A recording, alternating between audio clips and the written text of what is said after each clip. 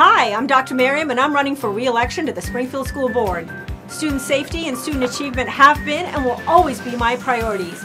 Together we will make a brighter Springfield.